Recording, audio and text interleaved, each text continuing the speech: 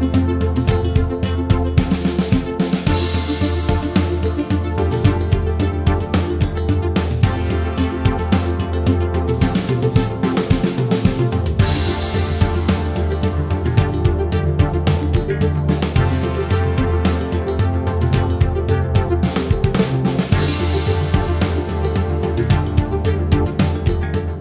Presiden Joko Widodo meninjau sejumlah proyek pembangunan infrastruktur di Sumatera Selatan. Presiden menargetkan proyek LRT Palembang dan Tol Palindra selesai sebelum gelaran Asian Games pada 2018.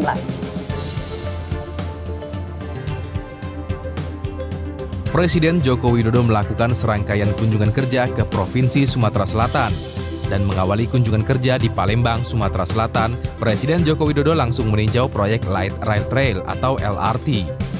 Jokowi menargetkan LRT akan menjadi program pembangunan di setiap daerah karena bisa menjadi alternatif sarana transportasi massal. Proyek dengan nilai investasi sekitar 11,4 triliun rupiah ini ditargetkan selesai pada 2018.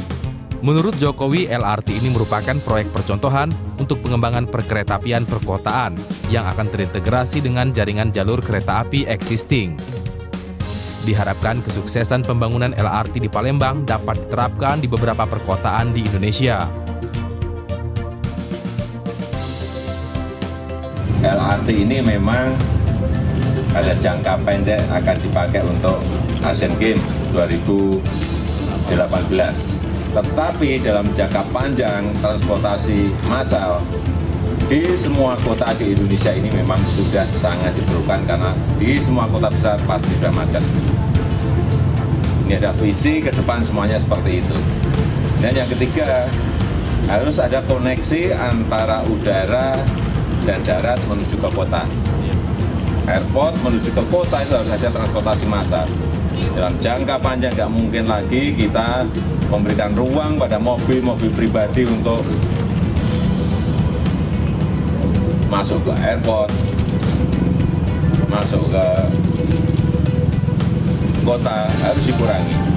Sehingga ini juga visi jangka panjang transportasi massa di Sumatera Selatan di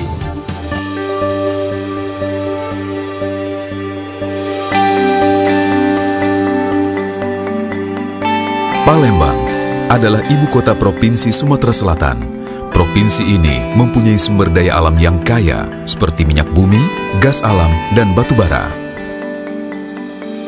Kota Palembang juga merupakan kota industri dan pariwisata yang berkembang pesat sehingga mobilitas masyarakatnya sangat tinggi. Saat ini, pemerintah Indonesia melalui Kementerian Perhubungan Republik Indonesia fokus untuk meningkatkan konektivitas antar wilayah di Indonesia melalui transportasi terpadu. Termasuk di antaranya adalah mewujudkan transportasi terpadu dari Bandar Udara Sultan Mahmud Badarudin II menuju pusat kota dan tempat-tempat wisata di kota Palembang. Hal tersebut diwujudkan dengan pembangunan Light Rail Transit atau LRT. Pembangunan Light Rail Transit menjadi pilihan karena ramah lingkungan, bebas macet, meningkatkan keselamatan transportasi, dan menjadi ikon baru kota Palembang. Sehingga akan menarik minat investor dan wisatawan untuk berkunjung. Jalur Light Rail Transit ini akan membentang sepanjang 23 km dengan 13 stasiun, yaitu Stasiun Bandara Sultan Mahmud Badarudin II, Stasiun Asrama Haji, Stasiun Telkom, Stasiun RSUD, Stasiun Polda, Stasiun Demang Lebar Daun, Stasiun Palembang Icon, Stasiun Dishub Kominfo, Stasiun Pasar Cinde, Stasiun Terpadu Jembatan Ampera, Stasiun Gubernur Bastari, Stasiun Stadion Jakabaring, Stasiun OPI, dan Depo LRT. Dari 13 stasiun tersebut, terdapat tiga stasiun penting yang akan menjadi titik persinggahan utama di sepanjang jalur LRT, yaitu Stasiun Bandara Sultan Mahmud Badarudin II. Stasiun ini menjadi penting karena akan menghubungkan secara langsung kota Palembang dengan kota-kota lain di Indonesia dan juga dunia internasional.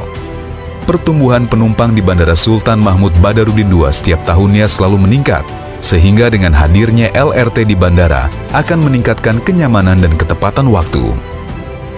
Stasiun terpadu Jembatan Ampera akan menjadi ikon transportasi intermoda yang terintegrasi dengan jenis transportasi lainnya. Di sini para penumpang dapat langsung menuju pusat bisnis, tempat wisata, dan budaya di seluruh pelosok kota Palembang. Stasiun Stadion Jakabaring, pembangunan light rail transit ditargetkan selesai dan mulai beroperasi pada Juni 2018, di mana pada tahun tersebut akan diadakan Asian Games 2018 yang akan dihadiri ribuan tamu-tamu internasional dan domestik, sehingga pembangunan LRT turut serta dalam mensukseskan penyelenggaraan event Asian Games 2018. Pembangunan light rail transit akan meningkatkan mutu pelayanan transportasi perkotaan Palembang melalui percepatan waktu tempuh, mengurai kemacetan, serta peningkatan keselamatan transportasi.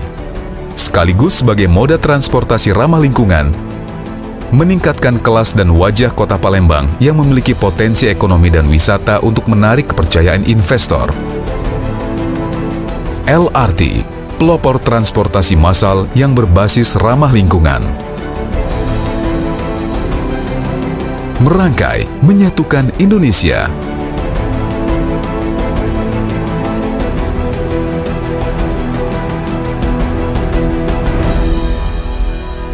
Kementerian Perhubungan Republik Indonesia